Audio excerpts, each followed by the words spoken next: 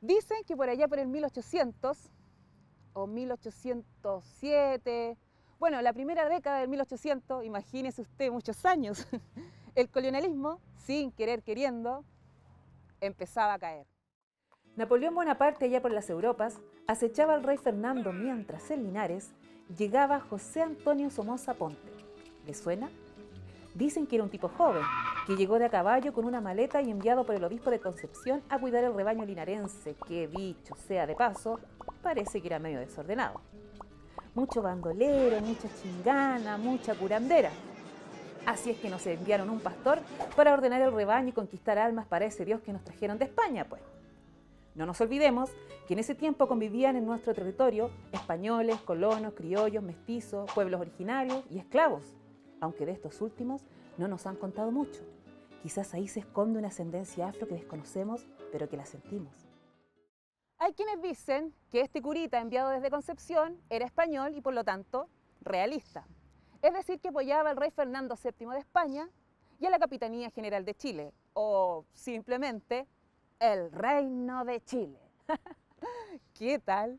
Otros, en cambio, dicen que el tipo era patriota y que ésta era muy amigo de Juan Martínez de Rosa y de Bernardo Higgins. Dicen los que cuentan y cuentan los que dicen que se reunían en secreto para conspirar contra el rey. Tan zapa que es la gente, ¿no?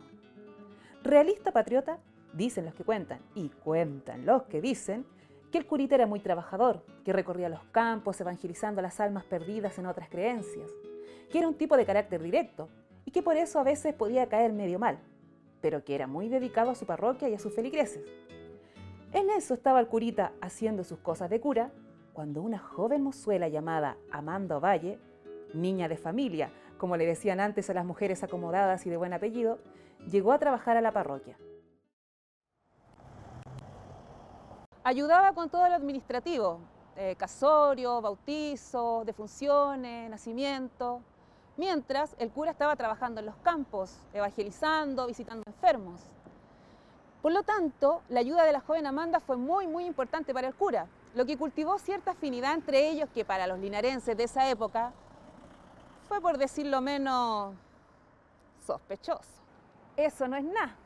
Los hablantes decían que se los veía salir muy tarde en la noche de la parroquia, a una hora en que una joven de familia y un cura no tenían que andar en la calle, pues. Y tanta risita, tanta complicidad entre ellos. Y así Linares hacía su vida. El trabajo en los campos, pequeñas pulperías, bellas damas paseándose por la plaza con esos vestidos ostentosos que ahora una no se imagina cómo se podían mover. Cuando llegó el año 1810, empezaron a llegar las noticias de los primeros levantamientos contra el rey. Imagínese usted así como el 18 de octubre, achó. Obvio que Linares teníamos mucho que decir. A favor o en contra, se armaban las discusiones entre los varones, porque las mujeres no hablaban de política en esa época, solo de labores hogareñas, de crianza, cocina, bordados y esas cosas. En fin, se armaban los debates y que viva el rey por acá y que viva la patria por allá, y el cura tuvo que mojarse el potito. ¿De qué lado sería el cura? ¿Realista o patriota? Algunos dicen que era patriota y como ya le conté, se juntaba con Juan Martínez de Rosa a conspirar en clubes clandestinos. Dicen que después del desastre de Rancagua fue perseguido y detenido en el fondo de su cuñado, don Miguel Acevedo, y que de ahí se lo llevaron a la isla Quiriquina por orden del intendente de Concepción. Dicen los que cuentan y cuentan los que dicen que ahí en la isla no lo pasó muy bien y que los soldados realistas se ensañaron con él por esas amistades revoltosas que tenía. Otros, en cambio, dicen que fue realista y que cuando se esparcía por Chile la revuelta independentista, el cura Somoza en las prédicas de la misa se encargaba de desprestigiar la causa patriota y criticar a los pecadores que osaban levantarse contra la corona de España.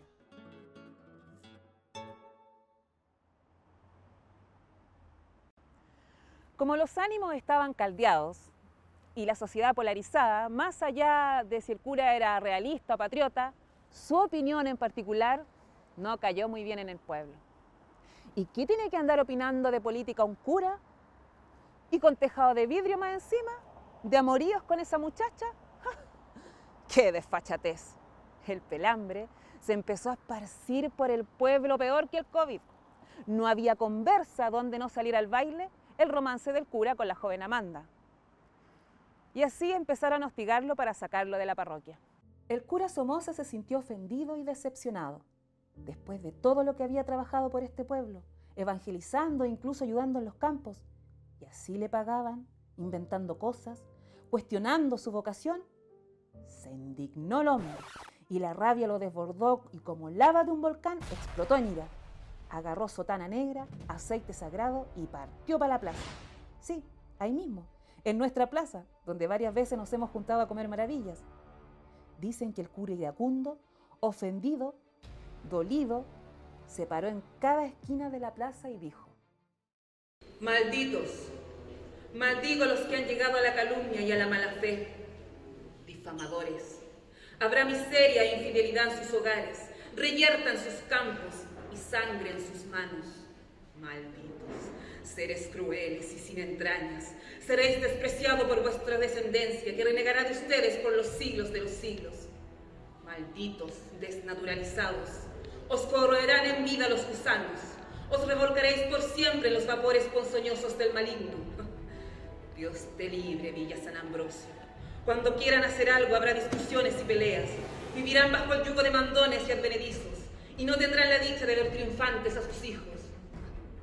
Gentes malcriadas, sus lenguas los castigarán por cuatro siglos.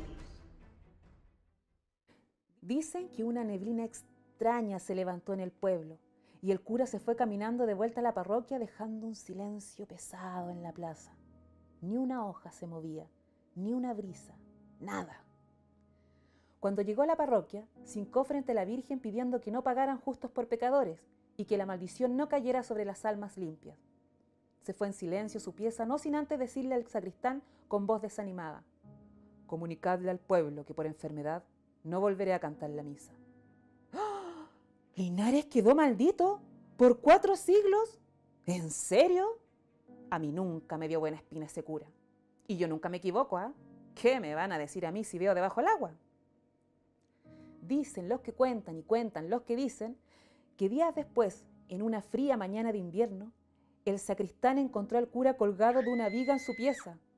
Otros, en cambio, dicen que el cura, así como llegó, se fue, que con su maleta montó el caballo y partió de vuelta a Concepción, perdiéndose por varios años del pueblo.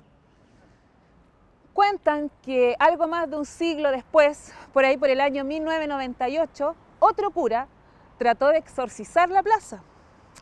Dicen que hizo el mismo recorrido que el cura Somoza, es decir, se paseó por las cuatro esquinas de la plaza, tirando agua bendita y diciendo unas palabras en latín. Dicen que cuando llegó a la cuarta esquina, se desató una tormenta que parece que el cielo se caía a pedazos. Dicen los que cuentan y cuentan los que dicen que ese cura terminó sus días en un psiquiátrico.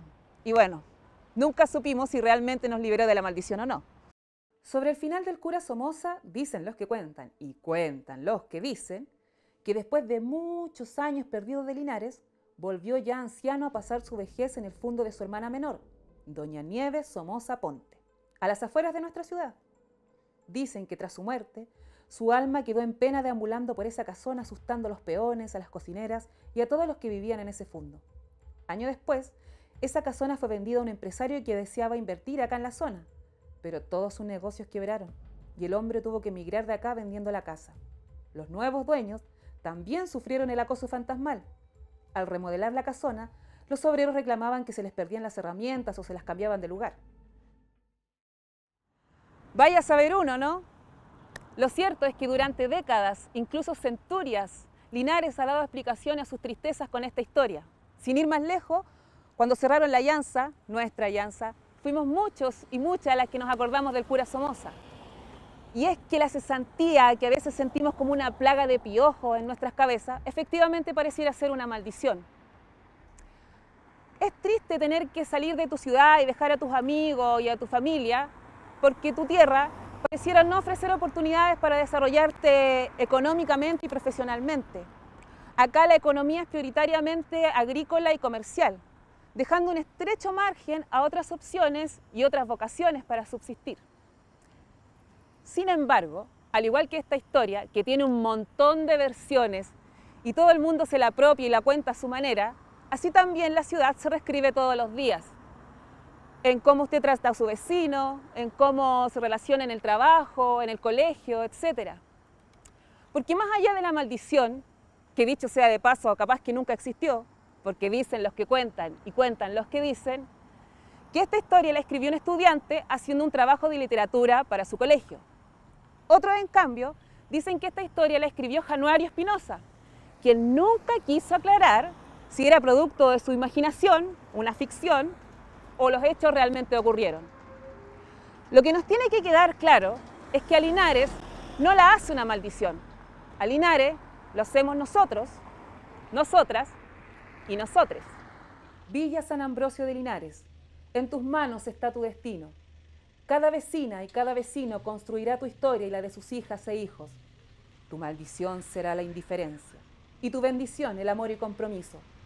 El egoísmo y la altanería serán mal mirados los renuevos sentirán orgullo de su tierra fértil y se apropiarán de tu historia escribiéndola con sus aires frescos. No habrá lugar en Linares para los prejuicios añejos y para las imposiciones soberbias sin empatía.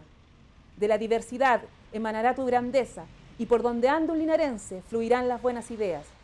Villa San Ambrosio de Linares, habrá respeto por tus ríos y montañas. Con uñas y dientes los linarenses defenderán su tierra como quien defiende la familia. Las tradiciones serán honradas con cariño abriendo al futuro ancho camino. Orgullo, vergüenza, alegría o pesadumbre, oh Villa San Ambrosio de Linares, en tus manos está tu destino.